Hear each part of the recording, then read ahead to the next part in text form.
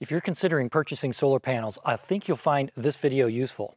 I've tested a lot of solar panels, so I have a pretty good idea of what the performance will be before I even start a test. But I did not get the results I expected in this case. My testing was showing an output way less than I expected, and I thought temperature might be an issue. So I tried fans, I tried water cooling, and I ended up collecting a ton of data. So I have some very interesting results to share today.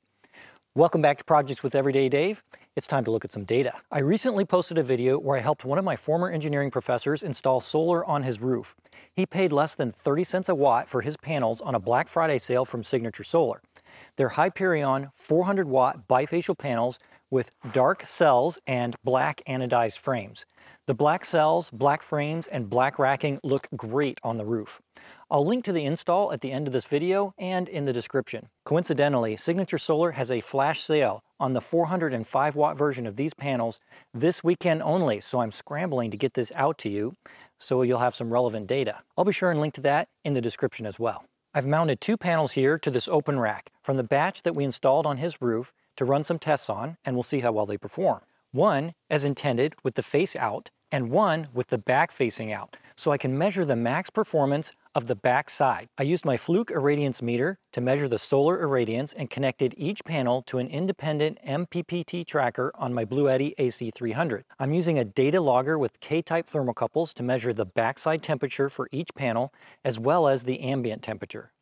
I'm checking the full panel output and I'm running a test with the backside blocked so I can measure the front and backside performance independently. I'll be using metric and Celsius for the analysis today since those are the standard measurements for most solar panels. Here is a reference Celsius and Fahrenheit chart to help you maintain proper perspective. My first test was on a very hot day with no wind and the ambient temperature hovered right around 32 degrees C or 90 degrees Fahrenheit.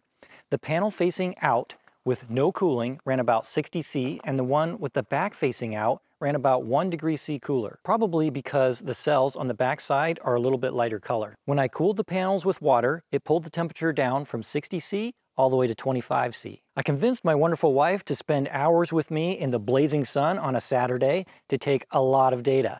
Because of her help, I have some very nice consistent data sets.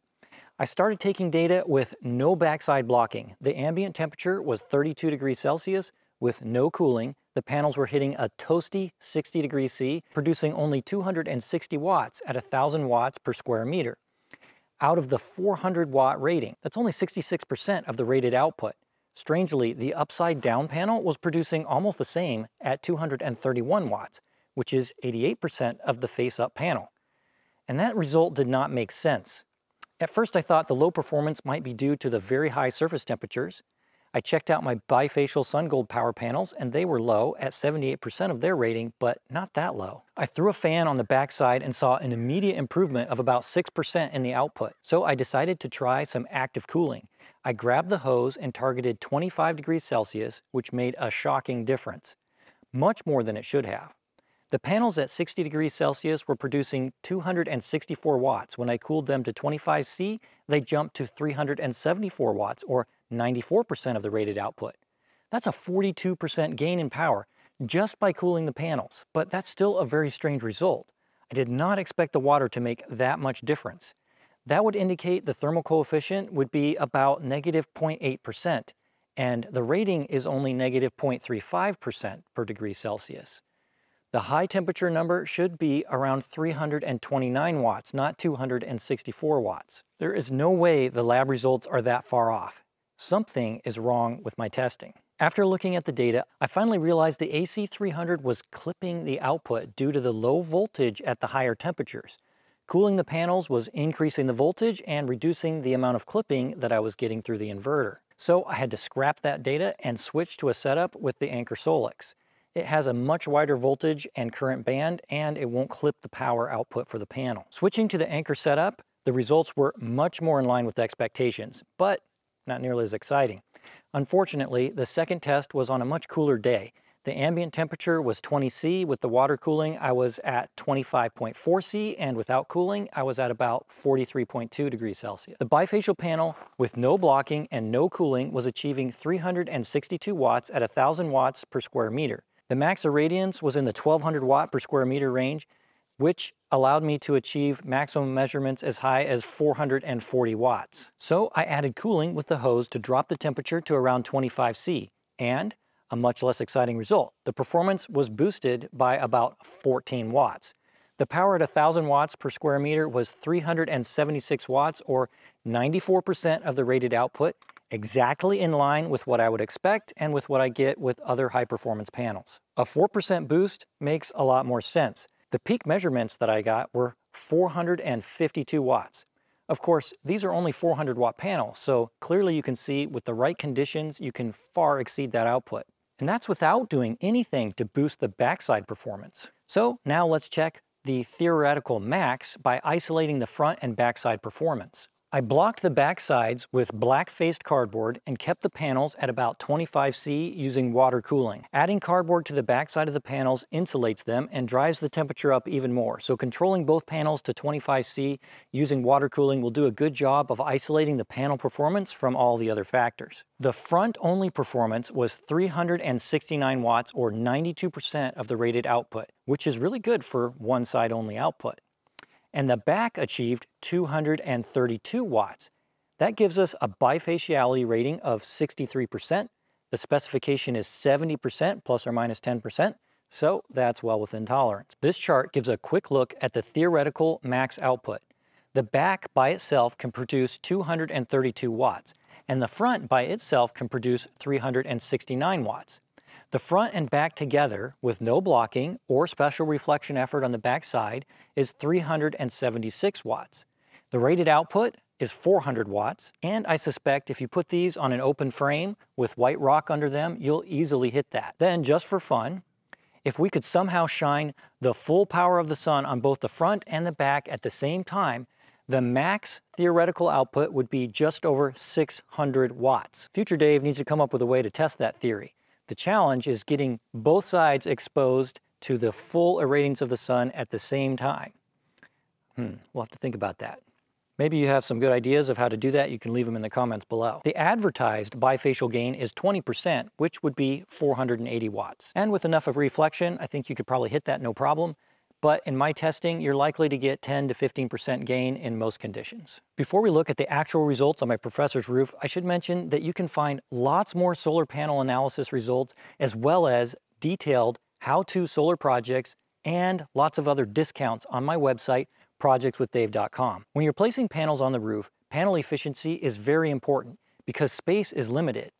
If I take the 367 watt output and divide it by the total panel area of 1.95 square meters, we get an output of 192.5 watts per square meter.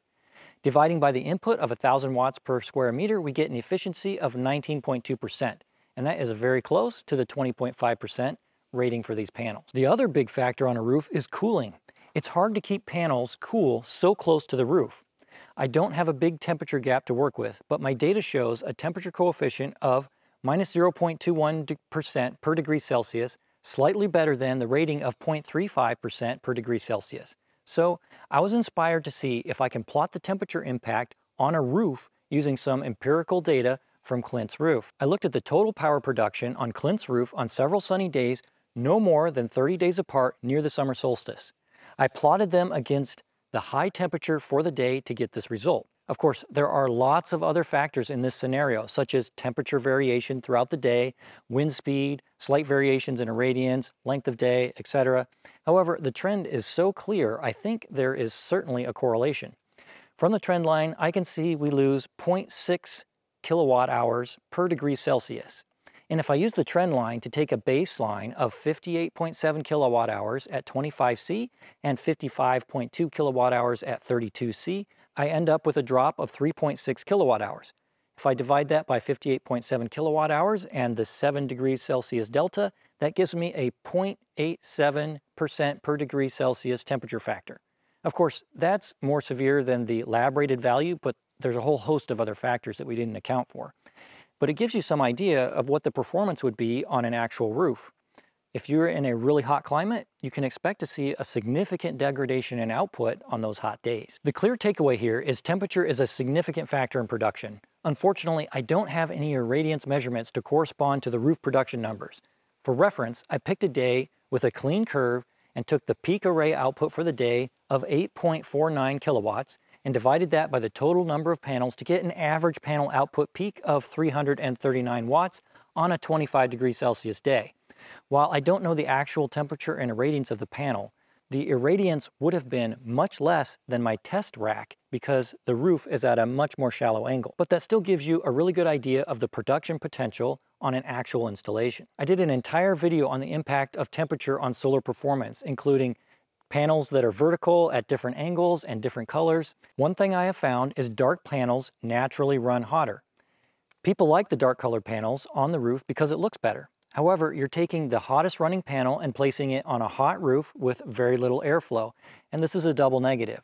If possible, I recommend getting regular bifacial panels, mounting them on an open rack with the most reflective surface possible behind or underneath them. But if you want them to look good and they have to be on a roof, these are a pretty good choice. These are not controlled lab results, but you can get lab results from the spec sheet. I do these tests so you can see what kind of performance you will get in the real world. Cooling your panels can improve the output, but I don't think the added complexity of water cooling is worth the trouble. I would just spend the money on more panels. Plus, more panels means more power in the winter when water cooling just won't be much help. I have discounts and links for Signature Solar as well as other great resources for solar panels in the description below and on my website, projectswithdave.com. If you want to learn more about solar panels, Watch one of these two videos right here. The Canadian wildfires have been messing up my data, but my next vertical panel comparison is almost complete and I'll be bringing it soon. Thanks for watching and I'll see you next time.